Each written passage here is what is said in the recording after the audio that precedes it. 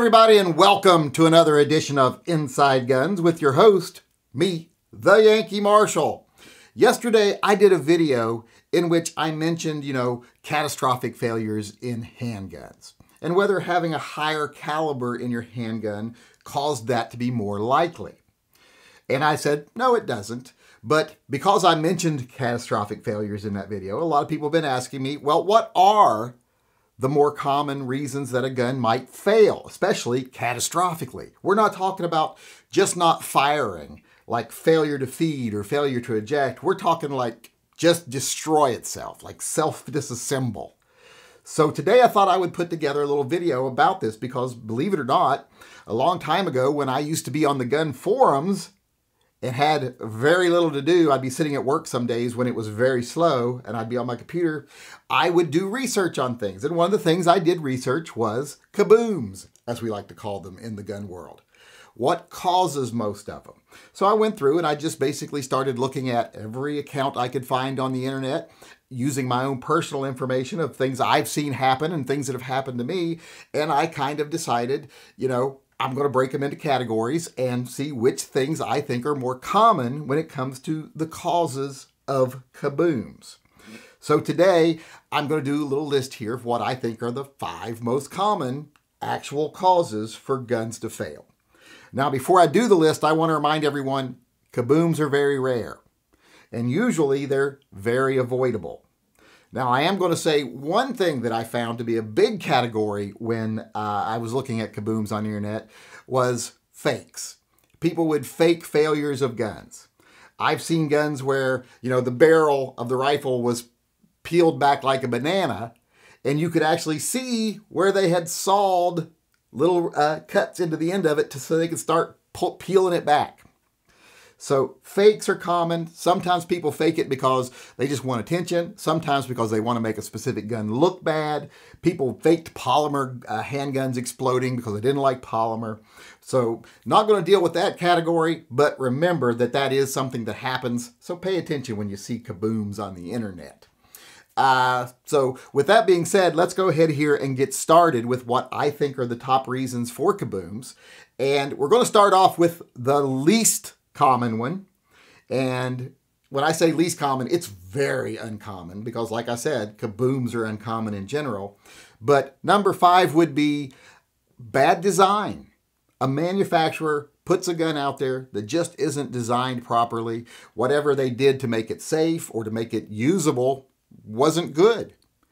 And that can become a problem. And that can cause catastrophic failure in a firearm. Now, this doesn't happen hardly ever because gun makers are so cautious about safety when they put guns out, but it has happened. You know, it's not unheard of, but like I said, very rare. But there's not a lot of common reasons for gun kabooms, so it still makes the list, and that is just a bad manufacturer's design. All right, at number four, we move on to something else from the manufacturer, and that is just manufacturing error. This is where a gun just isn't made right. Something gets through quality control that shouldn't get through. Maybe a barrel has some metallurgy issues or a slide, or maybe a frame wasn't cast properly or molded properly or whatever. And then you put heavy ammo in that gun, and it should be able to handle that ammo, but because of that light flaw, it can't, and it goes kaboom. Maybe the gun's not assembled properly. Maybe it's a revolver that the barrel's on wrong. And when you fire it, kaboom. Or maybe the forcing cone's off center or something. You know, it's just a gun that's been put together wrong or one of the parts just wasn't up to snuff. And that's number four on the list. It's manufacturing error and flaws. All right, now we're to number three. Now, number three is a very broad category. It's basically the stupid human category. These are people who take guns that are obviously not in operating condition. Maybe they're old or they're abused, and they use them anyway. They don't take the effort or the time to make them usable again before they do. Sometimes they just want to see if they'll explode. I've never thought that was very smart, but I see people do it all the time. They just take something, like I said, that isn't in operating conditions because it's been neglected or abused, and they try to see what happens with it. Uh, that's just a stupid human thing to do. Another stupid human thing to do to a lesser degree is modifying guns in ways that they were never meant to be modified. I don't mean uh, putting a different trigger in it or a different aftermarket barrel. I mean just taking a gun and like, let's cut this off and let's take this out and let's see what happens if we do this. Just really stupid things to do. It's like you're trying to make a gun explode, just like with the people who take guns that have been sorely abused and neglected and make them explode. So number three on the list is just stupid humans doing stupid things. All right, now we're to number two. And number two is a very specific thing that happens. You know, uh, stupid humans was very broad, but far more common than the first things I mentioned. This one is something that's common, but it's a specific thing. And it's something that can be avoided, but it's something you really don't blame people when it happens because a lot of people don't pay attention. And it is squib loads. If you don't know what a squib load is, it's when the gun uh, fires a round that doesn't have sufficient power to force it through the barrel. And the bullet becomes lodged in the barrel. Now, it's very easy to miss this because the gun might still go bang. It just might not be as loud as it usually is, and you might not notice it. And that bullet gets stuck in that barrel. Now, that in itself will not damage the gun. You know, you take yourself a dowel rod and a hammer and pound that round out. But if you pull the trigger again, that's when you can have problems. That can cause the gun to explode because the energy from that next round can't travel down the barrel. It has to go somewhere, so it comes back out the barrel. In revolvers, this often causes the barrels to explode. Also, it does that in semi-autos. Often it'll cause uh, catastrophic failure inside the frame, like shooting the magazine out, damaging the internals, because that energy comes out the wrong direction. So that's something that happens quite a bit that actually causes the gun to be severely damaged. Uh, so that is number two on my list. It's something, like I said, that's very specific and kind of common. It's squib loads. All right, now we're to number one. Now, number one is also a very specific thing, and it is probably the most common thing I've ever seen when it comes to exploded handguns or kabooms. And I was going to put this under stupid humans when I first started doing my list, but it was so common and it wasn't always the person shooting's fault, so I didn't think it fit there. And it is overloaded ammo, ammo that's just too powerful for the gun you're shooting.